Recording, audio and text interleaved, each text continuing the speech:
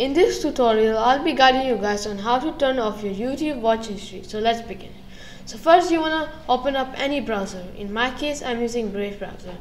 Then search up myactivity.google.com.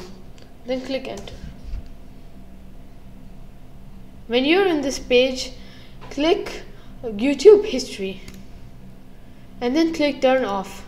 Then click pause and then here they'll ask you if you want to keep your old YouTube history. If you want to keep it click OK. If you don't want to keep it then you can click delete all activity.